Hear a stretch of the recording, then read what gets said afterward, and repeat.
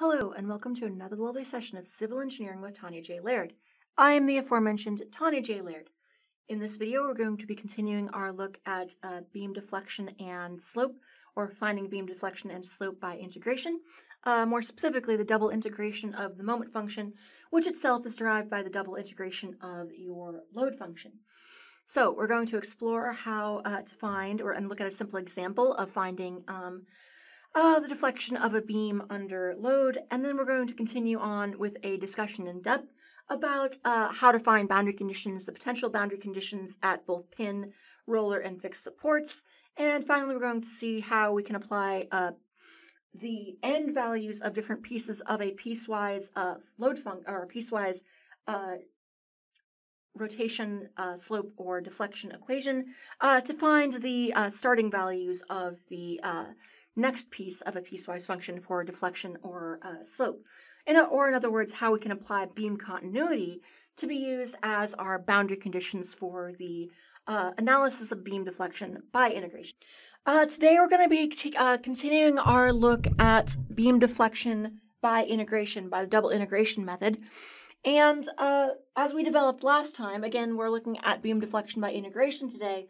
And as we saw last time, uh, we developed a few formulas relating the uh, moment functions of curves or, or of beams uh, to um, the deflection of beams. So uh, there's a few things we can look at. So uh, if you have load function W, so for, let's just review briefly. Uh, for a load function W, uh, for a load, load function W as a, a function of X, for a W as a function of X, uh, we know from prior work that shear is just going to be equal to the negative integral of the uh, distributed load as a function of X. Uh, we of course know that moment is just the integral of shear, or at least the moment between two points is equal to the integral of shear, or the change in moment between two points is equal to the integral of the shear function. And then, uh, as we saw last time, this can be extended to um, uh, find beam slope and rotation, or sorry, beam slope and deflection. So we can say that uh, that theta, which is the slope of our beam at some point, is simply equal to uh, 1 over EI times the integral of moment as a function of x. Oh, and dx integral, of course. And finally, we can say that uh, that theta, or not theta, that delta, or uh, let's see, yeah, uh, or you can use y the deflection of, the, of a beam at a certain location is simply equal to the integral of theta as a function of x. So the integral of theta of x dx, or that is equal to the double integral with respect to x of our moment function. Um, over ei, of course. Um, dx, dx, and moment as a function of x. And again, this uh, these relationships come directly out of mechanics. They come directly from uh, simple applications of Hooke's laws and, or Hooke's law, and also assuming uh, small uh, angular change, small deflection, etc. So that is what we developed last time, and today I want to look at a few examples and uh, look at some of the intricacies and subtleties of working with um, of working with the, the uh, slope and deflection formulas. So I thought we would start with the simplest beam. Well, I suppose the simplest beam would be a beam with no load at all, um, but that's a little too boring. So instead, we're going to look, uh, first of all, at a simply supported beam with a uniform load. So let's say we have a simply supported beam with a uniform load, and there is a distributed load W across it. And we'll give this thing a length L.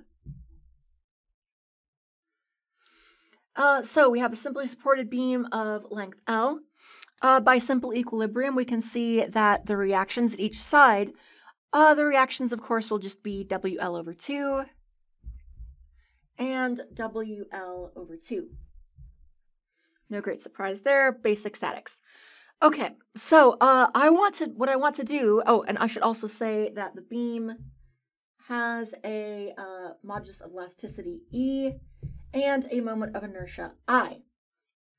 So what I want to do is I want to use these equations to develop the equation of uh, uh, for the maximum deflection of a beam at midspan, of a simply supported beam at midspan. So let's use this. Uh, find, let's say find the maximum deflection in the beam in terms of the provided variables. Uh, the max deflection of the beam.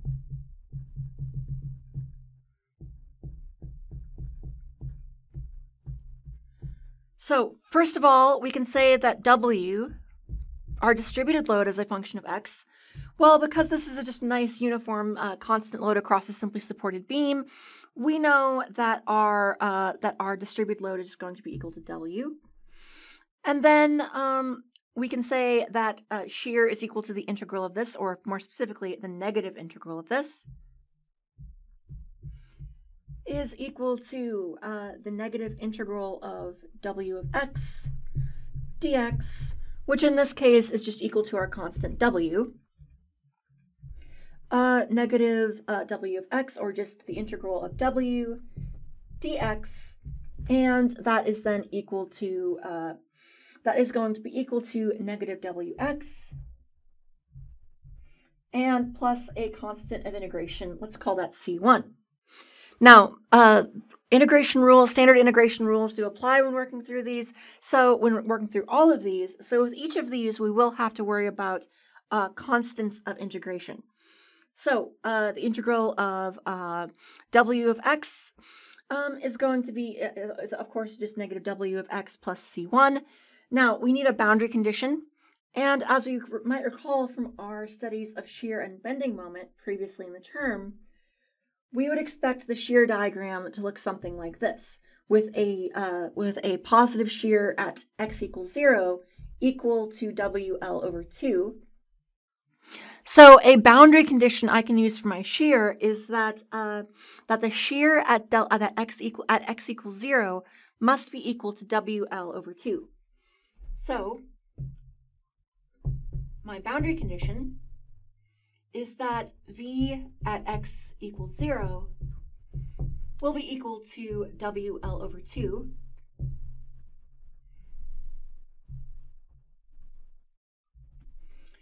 Uh, so we can go then substitute that in, and uh, we can find fairly simply that C1 must equal WL over 2. So that means that uh, that shear as a function of x is equal to uh, negative wx uh, plus wl over 2. Uh, no great surprise there, and we can confirm that this checks out by saying, okay, well, at x equals 0, that means we will have a value of a shear of WL over 2. When we put in x equals L, that will give a, a, shear of negative WL over 2, which is exactly what we would expect for our uh, shear function. So uh, next, I want to work through, uh, we'll, go, we'll go into moments, continuing this down the road.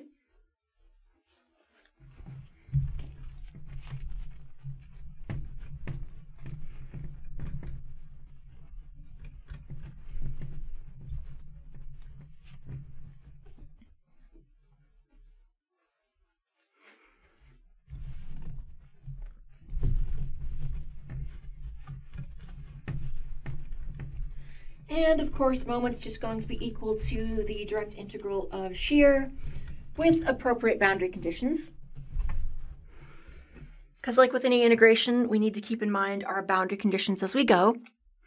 And so, uh, moment then, as a function of x, our moment as a function of x is just equal to the shear as the integral of shear as a function of x, the integral of v of x dx, and uh, again, our shear is equal to WL over 2 minus WX uh, integrated with respect to dx. Then we can say that uh, we can get the integral here. And then let's see, just applying some standard polynomial integration, we will get that our uh, integral is WL times x over 2 minus, uh, let's see, wx squared over 2 and then uh, plus a constant of integration. And I'll just call that C2. Okay, now we do need a boundary condition here to get our C2. And to do that is I'm going to realize that at we because we have pin supports on either end, our moment is going to have must come to zero at both ends. So our boundary condition our boundary condition will be, uh, let's see, I know that moment at x equals 0 will simply equal 0. And so it, when I have moment of x is equal to this, my WLX over 2 minus WX squared over 2, I can see very easily that uh, that our uh, C2 is going to be simply equal to 0. So, therefore, moment as a function of x is equal to WLX over 2 minus wx squared over 2.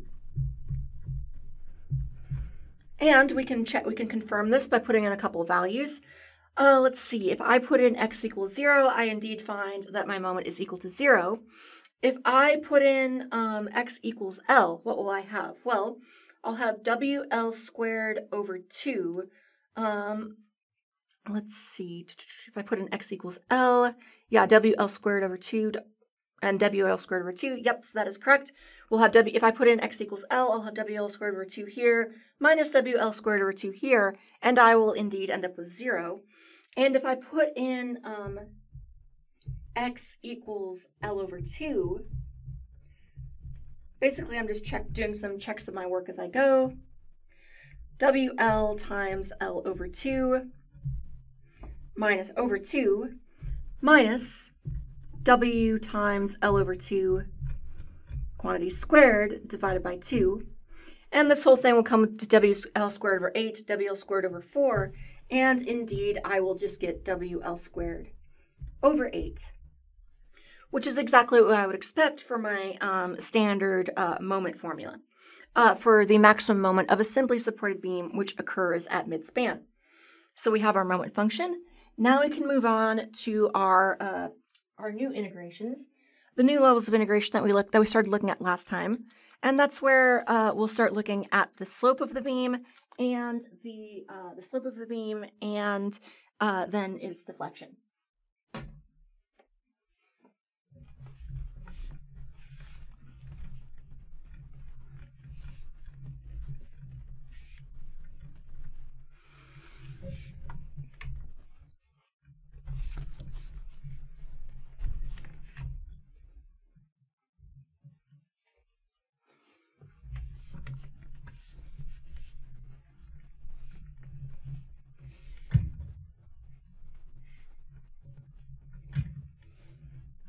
Okay, so uh, we have our moment function, which is right here, our WLX over 2 minus WX squared over 2. So next I want to move on to getting the slope function. And remember, theta is our slope, our dy dx. Uh, theta as a function of x is going to be equal to 1 over ei. Uh, let's see, 1 over ei uh, times uh, our moment function here, well, times the integral of our moment function here, which is WLX over 2 minus WX squared over 2. And, of course, integrated with respect to x. Okay, WLX over 2, WX squared over 2, uh, we are good. Okay, so then let's apply that, in, that integral, 1 over EI oh, let's see, some lovely polynomial integration in the morning. So uh, we will have 1 over ei times, uh, that will be w lx squared over 4. And then we should have uh, w uh, x to the third over 6. I believe. That looks good. And uh, plus a C4, or sorry, a C3. Okay, so we have that. Now, um, I might, if, if I could, I would like to get a uh, my constant integration. Unfortunately, for this beam, as this is a simply supported beam, I don't really have boundary conditions that I can use for the slope because I know the beam is going to, to start and end at the, at the start and end points. Have moment like that, deflection like this, but I don't have, so I know that the deflection at the left and the right end is going to be zero. However, I have no idea uh, what the actual angle or the actual slope of the beam is at either end or at the center. Well, actually, I could apply that. You know, I suppose I could say that the slope of the beam has to equal zero at the center, but I would rather not do that because that would only be I will only be true for a, a symmetric beam. So I'm going to leave this as C3 and actually use a. Uh, I'm, I'm going to leave this as C3 for now and actually find my um, constant integration C3 in the next step. Okay, and again, I'm doing this because um, my boundary conditions, I know that the deflection is zero at both ends of the beam, but I don't know anything about the rotation of the beam uh, at, at its various ends, at its two end supports. So uh, I'm going to move straight on to finding the deflection function. So uh, y, our deflection as a function of x, uh, let's see, that will be equal to the integral of theta as a function of x. In other words, equal to the integral of our, uh, our slope as a function of x. And so that's 1 over ei times the integral of our function here, wlx squared over 4 minus wx to the third over 6 plus c3 dx. All right, applying this integral. So 1 over ei, 1 over an ei, times, let's see, so that is going to be WLX to the third over 12. Uh, divided by 12 minus uh, wx to the fourth divided by 24 uh, plus c3 times x and then plus some constant of integration c4. Okay, so I'm going to use some boundary conditions. Uh, so I have two constants of integration. That means I need two boundary conditions, or I have two unknowns. And that means I uh, need two boundary conditions. And thankfully, I do have two boundary conditions related to the deflection of the beam as a function of x. First of all, I know that the deflection at x equals 0 is going to be 0. So, boundary condition, y at x equals 0 must be equal to 0. So if I put in zeros for all my x's and zero for this, so 0, 1 over ei uh, times, well, that's just going to be 0 minus 0 plus 0 plus c4, I can conclude that c4 is equal to 0. So our constant of integration here just drops away. And we'll finish this up over here.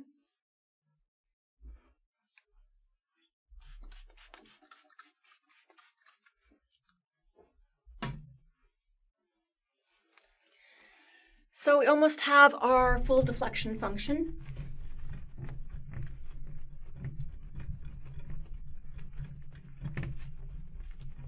Just need to plug in one remaining boundary condition, and that is that the deflection at x equals L, where x is equal to the uh, beam length, or in other words, we're looking at the point at the far right side of the beam, their deflection will also be equal to zero.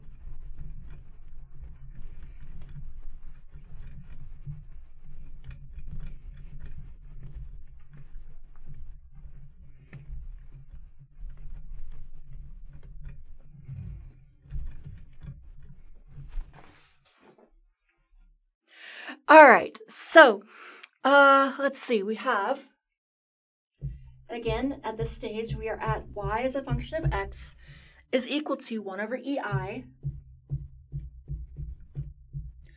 uh, times, let's see, we have WLX to the third over 12. Uh, minus WX to the fourth over 24.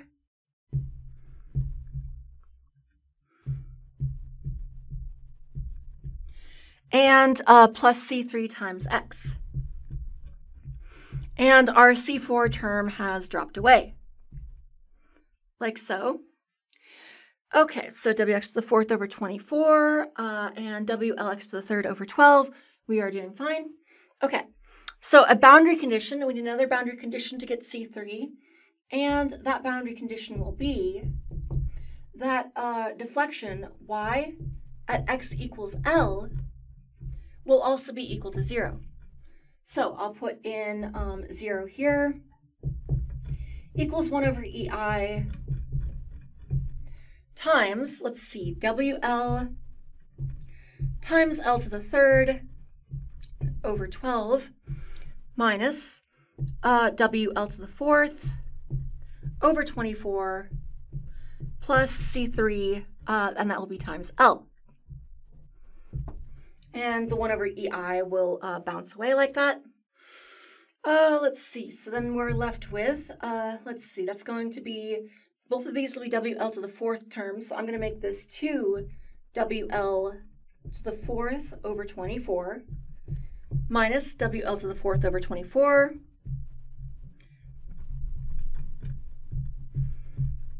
uh, plus C3 times L.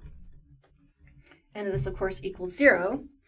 And this will then be equal to, let's see, if I subtract this, this will be uh, simply WL to the fourth over 24, and then plus C3 times L. Uh, and this, of course, oh, yep, and this equals 0 then. And let's see, cancel out an L, that will become a third. And uh, so then C3 should equal negative WL to the third, negative WL to the third over 24, if I manage to math that correctly. So, therefore, uh, deflection as a function of x will be equal to uh, our final function then, the, uh, y as a function of x. Oh, let's see, that will be uh, w uh, l to the third divided by 12, oh, 1 over ei, times wl to the third over 12 minus, oh, sorry, that should be WLX to the third over 12. Manage you know, I'm just going to rewrite this whole thing. This got a little misaligned.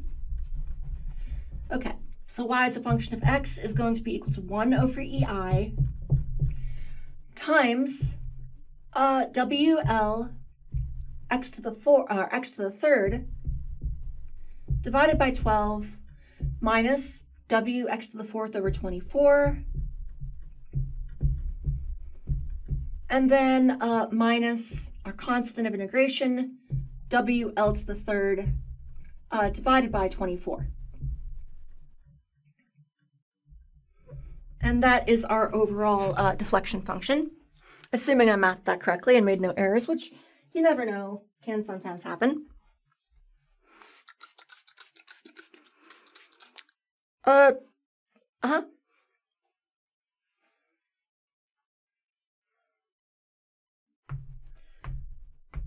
Yep. Oh, oh, yes, thank you. And hey, I mentioned math errors. There you go. There's a math error. Yes, there should be an X on that term. Thank you. I was just seeing if you were paying attention. That's what that was. Sure. We'll go with that.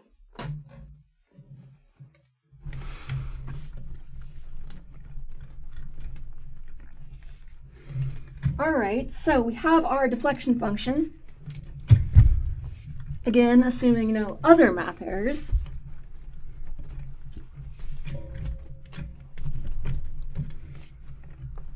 And now we can go and uh, find what the problem was asking for, and that is our uh, deflection, our maximum deflection, which will be at midspan. Now, if we wanted to prove that the maximum deflection is at midspan, uh, we could go back to our theta function, our deflection, or our uh, our slope function, and basically by we can apply a little bit of calculus to figure out where any local maxima will occur by saying, okay, well, the uh, since um, since slope is the uh, since since deflection is the integral of slope, that means that slope is the derivative of deflection. And so therefore, wherever the deflect wherever the slope is equal to zero, you must that's where the uh, wherever the wherever the slope of the beam is equal to zero, that's where your deflection will have a local maximum or a local minimum. So if you wanted to find that, we could set the we could set the theta of x uh, equation equal to zero, uh, find where that it, find what x values that's true at, and then uh, we would know that's where local maxima or local minima is. However, for a simply supported beam, we know the maximum deflection is going to occur at midspan, so we can just directly use this equation and uh, we can just directly use this equation and calculate the uh, deflection at midspan. So we have y as a function of x, again, is 1 over ei times uh, wl uh, x to the third over 12 minus wx to the fourth over 24 and minus wl x to the uh, wl to the third x over 24 uh, wl to the third x over 24. And uh, our midspan coordinate, uh, our midspan x coordinate will of course be L over 2. So y of L over 2. Let's see, we'll still have our 1 over EI. And let's see, so that is going to be WL uh, that is going to be x to the, th- or not x, l, l to the third over 8 over 12. Because uh, if I put in x over 2, it, or put in l over 2 for x, minus w times, uh, that is for l over 2 to the fourth power will be l over 16 over 24. And then we'll just have uh, WL uh, L to the fourth again. But then um, over, uh, let's see, that's going to be L over 2, so that'll be over 48. All right, so we have that, and we can keep chugging along. So let's see, 12 over 8, that will be 96, I believe. Uh, yeah, 96. So WL to the fourth over 96 minus, oh, that should be a L to the fourth there. So uh, 16 times 24, uh, let's see, that is going to be, oh, my brain is not warmed up today yet, so 16 over 4, 16 times 24, that comes to 384. So that will be uh, WL to the fourth over 384. Oh. 384 and then minus WL to the fourth over 48. And I could do some similar fractions, but I think I'll just go ahead and let my calculator do the hard work because I am incredibly lazy, if I am anything. Um, let's see, let's do that. Let's just go and do a common function, 1 over 96 minus 1 over 384 and minus 1 over 48. And uh, unsurprisingly, 1 over 96 minus 1 over 384 uh, minus 1 over 48, I get uh, 1 over EI times uh, negative 5 over 384 negative 5 over 384 uh, WL to the fourth. Or alternately, our Y max, which is that midspan, is just uh, negative 5 WL to the fourth over 384 EI. And that is the standard solution you'll find in any beam table.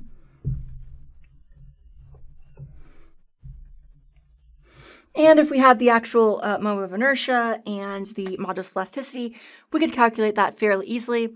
Although we would have to, of course, take uh, special care uh, when you are doing these type of types of calculations with actual numbers. Uh, make sure you take care to use consistent units because by default, length is usually, if you're using English units, uh, length is usually in feet, W is usually in like something like kips per foot or pounds per foot, while E is in KSI uh, force per square inch, kips per square inch, inches to the fourth, etc. So make sure you use uh, compatible units. Okay, so uh, let's review the process here. Um, again, as a review, the process that we took was we started with our uh, our load function. We first integrated that by applying a uh, the negative integral. We, uh, we, we applied the negative integral of the, the load function to get the shear function. And then we applied a boundary condition um, produced from a simple free body diagram about uh, what the uh, to find the first constant of integration.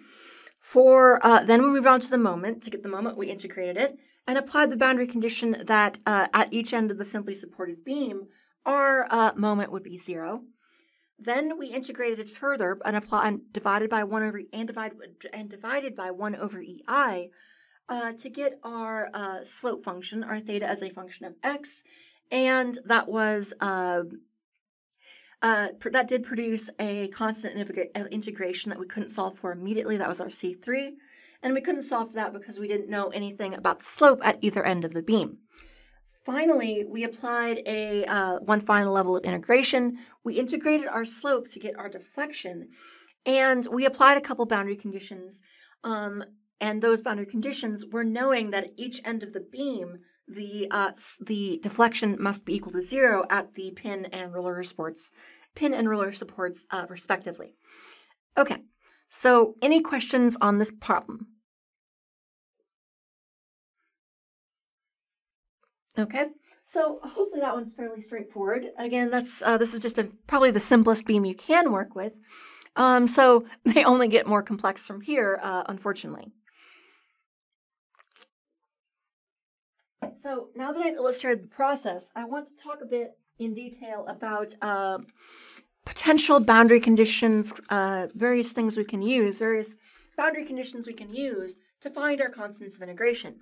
This is an integration method, so we know that um, every time we integrate something, say with respect to x, we're always going to end up with constants of integration. Uh, you know, sometimes in shorthand, I'll say that deflection is equal to the in, twice integral of moment, but that's not actually true. It's really that the the double integral of moment is really the change in uh, deflection between two points, not the actual deflection at some point. To know the actual deflection at some point, you have to apply um, you have to apply some known boundary conditions uh, to then get your um, uh, unknown constants of integration. Because again, every time you integrate with respect to x, you are going to inevitably uh, create unknowns, um, which then need to be solved through boundary conditions. The bane of every introductory calculus student, the dreaded plus c. And no, it does not go away.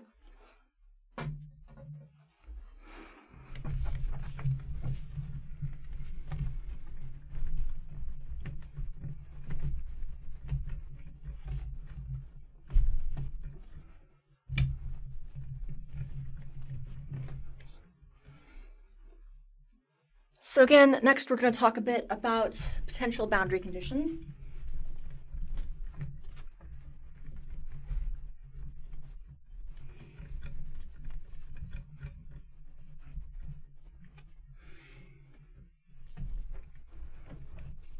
And these boundary conditions are going to come right out of our, um, really right out of our support conditions. Okay. So let's talk about potential boundary conditions for uh, beam deflection analysis by integration. So, potential boundary conditions.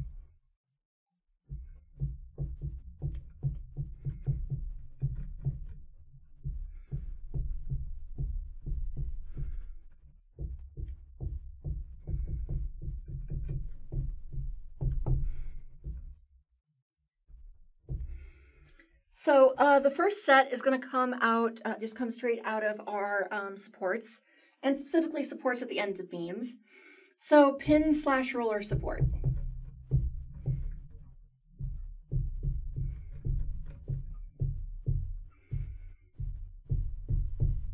And these will apply whether you're looking at a pin or a roller support. So let's say you have a pin support, and additionally, maybe the beam is horizontal, and after some load is applied to it, it's going to undergo some rotation and end up at some uh, rotation deflected at the end, at its end like this, so with some slope uh, theta. Well, what do we know at the pin at a pin or roller support?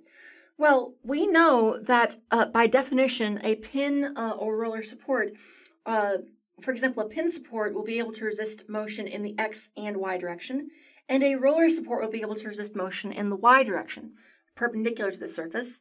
And since now, and the only thing that matters for deflection is the, uh, at least for most beam deflection, is the vertical distance because deflection is usually defined as perpendicular to the beam rather than along the axis of the beam.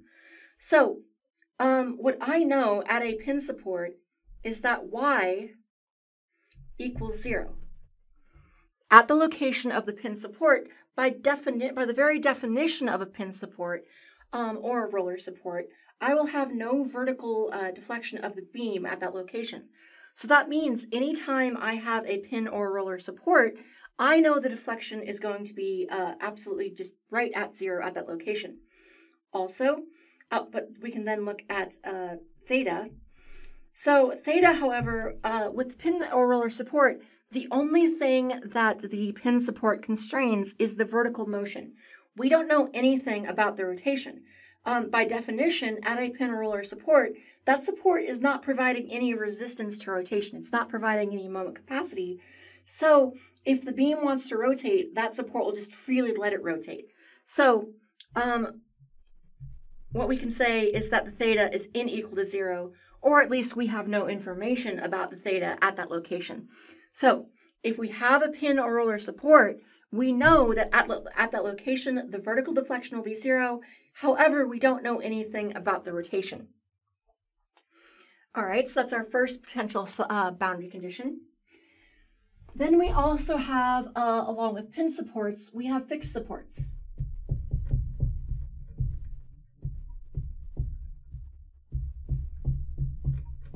Uh, we have fixed supports.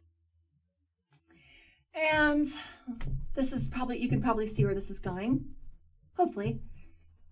But we have our beam, and it will want to undergo some rotation theta, but it actually won't be able to.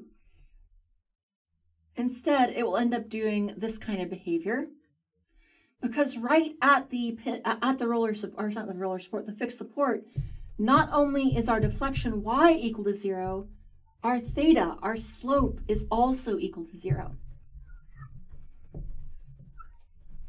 So, by definition, a, uh, a fixed support or a moment support, a fixed support by definition has a high moment capacity relative to the beam.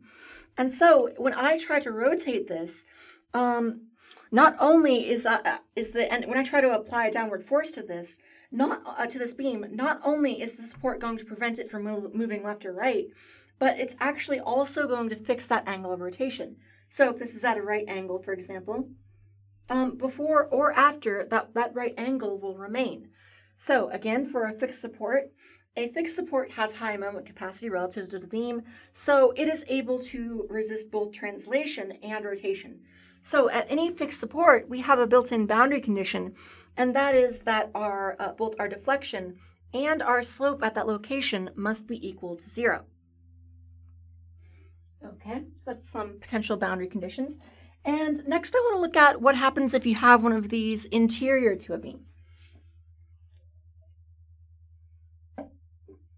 Okay, so what happens if you have a longer beam? Something like, oh, I don't know, something like this. What if you have a continuous beam?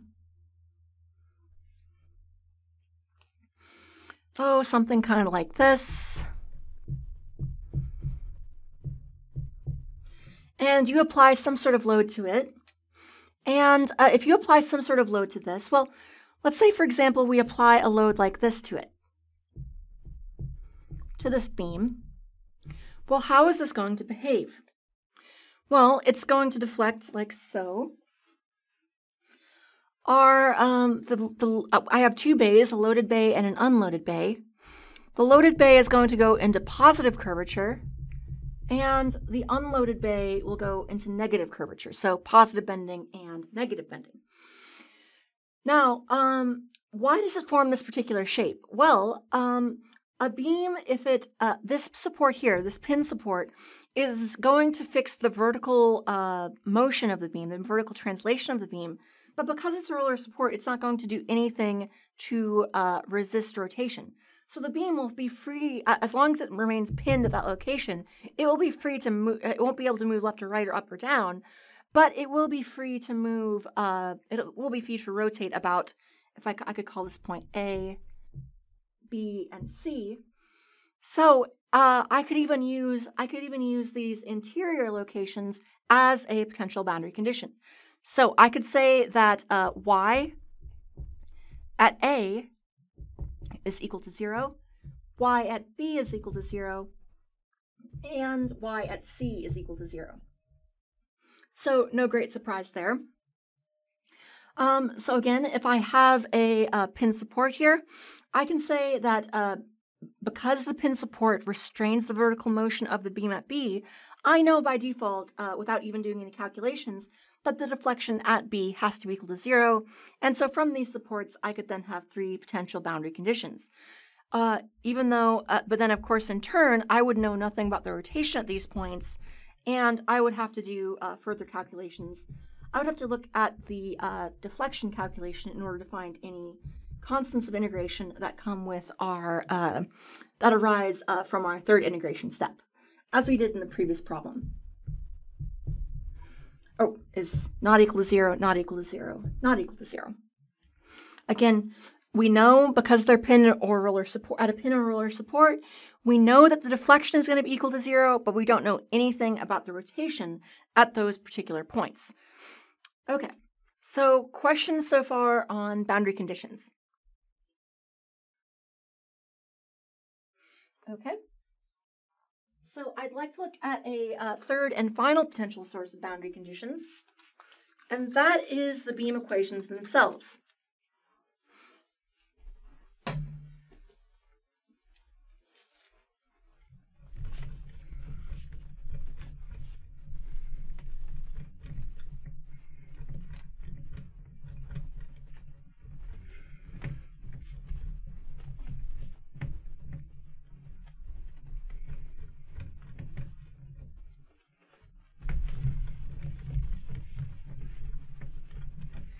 And this is going to arise because we, uh, when doing beam analysis, it is usually a perfectly, it is usually a valid and necessary assumption to assume that beams are continuous. And let's see what I mean by that. Let's discuss this. So, uh, consider the shear and moment function. Uh, v and m functions don't have to be continuous. Uh, v and m functions are not necessarily continuous.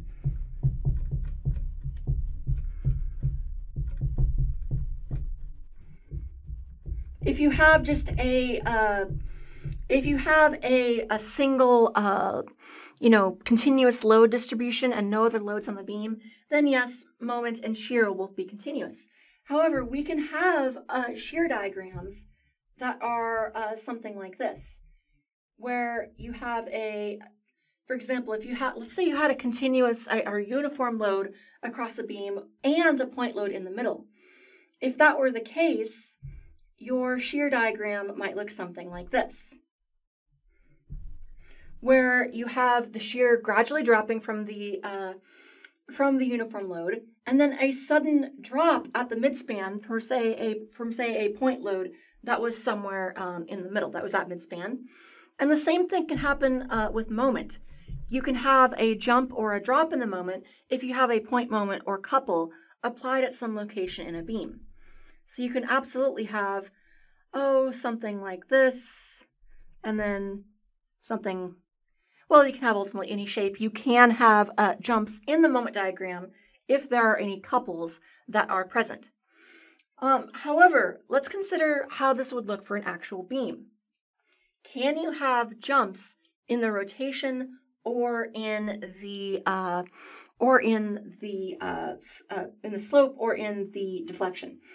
And so let's look at uh, rotation, or in other words, the slope.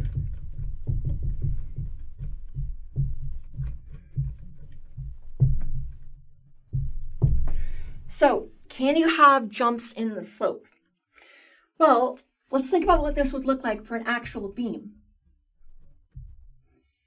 If you had a beam with a jump and slope, it would have to look something like this. You would have to have a location where the slope of the beam itself suddenly changed. Something like that. And I don't know about you, if, you know, if you have your flange, this is, this is, you're looking at a, uh, you're looking here at, say, a W section, a wide flange shape in um, elevation view. And so you have your flanges, your flanges, and your web. And so if you were to have a sudden change in the slope of the beam, then you would actually literally have to have the beam basically kinked um, at a certain location. And uh, this is generally not a good thing. So um, generally, you're not going to have any changes in your slope. So generally, theta of x should be continuous. You shouldn't, the slope can change.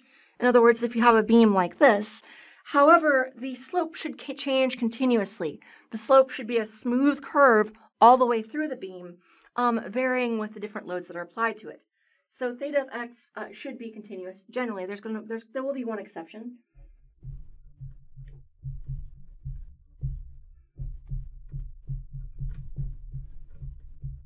And the only exception to that is the moment release.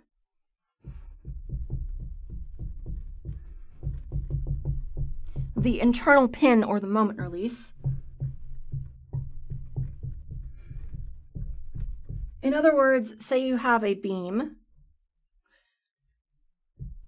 Well, this beam here wouldn't even be stable, but let's ignore that for now. Or we could say something like this, where it's a fixed support there. That would be stable. At this location, you can have a sudden uh, jump in the uh, a sudden jump or drop in the slope of the beam simply because you have a pin there and that is able to uh, allow motion of one piece with respect to the other. Okay, so unless you but if unless you have a uh, a moment release or an internal pin in a beam, you should expect this, the slope to be a continuous curve all the way along the length of the beam. And then finally, what about deflection? What about deflection? Well, here there really aren't going to be any exceptions, not even at a, a, a, a moment release, because think about what this would look like. If the deflection is going to be uh, is going to undergo a jump, well, that basically means your beam is now fractured, because you'd have to have something like this, where there was actually a sudden drop in the actual neutral axis of the beam. So you have a neutral axis here, and then you have a neutral axis here. And the only way that's going to happen is if there is a, you know, sudden shearing of the beam. And at that point, your beam has literally broken in half. So uh, that can't really happen. So even though your moment and shear have to be continuous functions, your deflection really doesn't. Or other way around, sorry. even though your uh, moment and shear can be discontinuous functions, your deflection absolutely has to be a continuous function, and your rotation generally will be, unless you have the one exception, which is the moment release. And so, uh, and why this is important is that you can use this knowledge as a uh, as a source of potential boundary conditions. So let's see what I mean. Let's see what I mean. Well, let's see what I mean by this really quickly.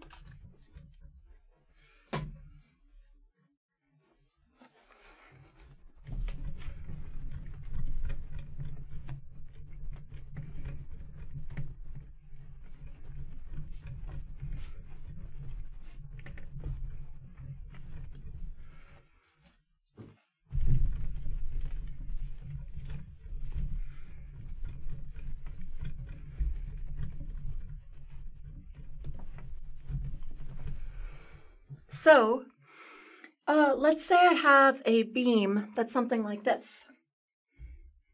Let's say I have a beam with uh, discontinuous loads on it.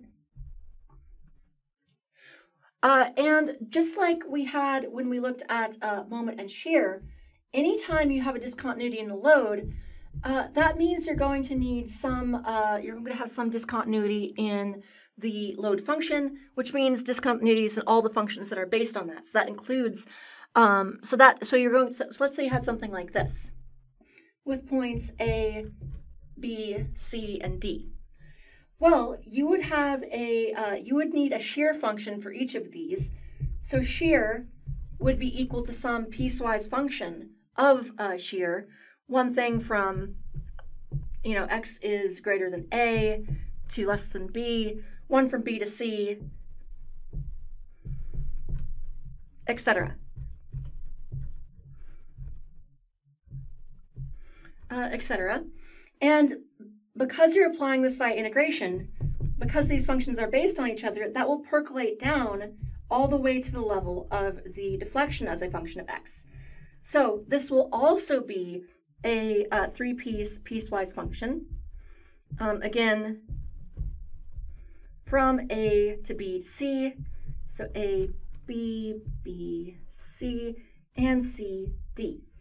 And the reason I mention these deflections and uh, continuity of rotation and deflection is that you, uh, because this is continuous, you are able to use the end values of one piece as the boundary condition for another. So in other words, if you find this first, you could you might find this first piece, the, all the constants of integration based on of this first piece, based on the knowledge that um, uh, based on a support, say like a say that you know the deflection at the left end is zero. So you might find the uh, you might find the deflection at that location, uh, or all the constants all the constants of integration for this interval here. Develop the full equations for deflection.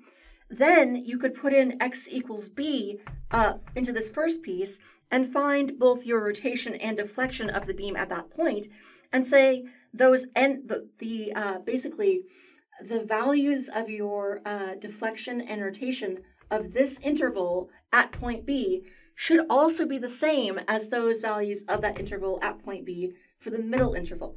So just like we did in moment, um, but uh, in moment there it can actually it, there can actually be exceptions for like a, a point couple, etc. But uh, for deflection, especially, there will be no exceptions. Your deflection should always be a continuous equation unless your beam is breaking in half. And so your um, you can use the end values of one piece of a piecewise uh, defle- uh, deflection function as the starting boundary values of the next piece.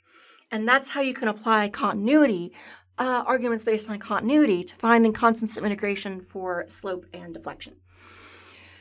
Okay, so I know that was a lot. Um, any questions on anything we have covered today? All right, that'll do for today. Again, today we looked at, uh, first we just applied a simple example of uh, double integration of the moment curve to find the uh, rotation and deflection of a uniformly loaded simply supported beam and finding the maximum deflection at the center. Uh, then finally, uh, we continued on to look at some potential sources of uh, boundary conditions to find constants of integration uh, namely finding the uh, boundary conditions that exist at both pin and roller and then fixed supports. Finally, we discussed how to apply beam continuity to find our, uh, to serve as a source of potential boundary conditions for more complex beams that have multiple zones of analysis in a larger piecewise function. All right, so that was a lot. Uh, hopefully, you found this informative. Hopefully, you found this maybe a little bit enjoyable, depending on your uh, definition of enjoyable. Uh, if you have any questions, feel free to leave them in the comments below. Uh, feel free to like, comment, and subscribe to make the robots happy, etc. Um, if you have any questions, again, feel free to leave them below. Uh, regardless, I hope to look. I hope to see you all soon. Uh, we'll be looking in the next lecture, finishing up some look at beam deflection by integration, maybe working through a little bit more complex example. But uh, regardless, that'll do for today. So I look forward to seeing y'all in the next lecture. Look forward to seeing y'all then. And as always, thank you.